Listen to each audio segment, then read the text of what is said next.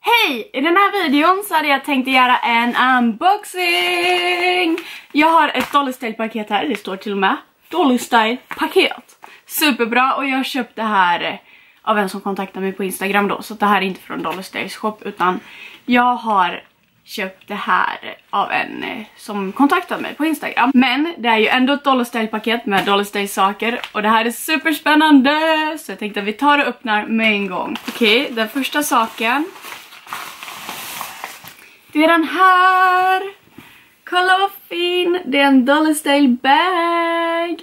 Så här ser den ut. Sen så har vi, jag tror det är brev eller något. Ja det är det till och med. Du får läsa i en video. Ja men vad bra.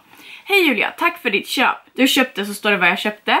Och sen så står det typ något extra. Att jag får typ något extra sak med. Men det ser vi vad det är sen. Du är den bästa youtubern jag vet. Du är den bästa som finns i hela världen. Love you. Tack så jättemycket. Ah, nästa sak är den här. Jag har ju det rosa sånt här. Jag har faktiskt funderat på att köpa det svarta. Och nu gjorde jag det. Asfint.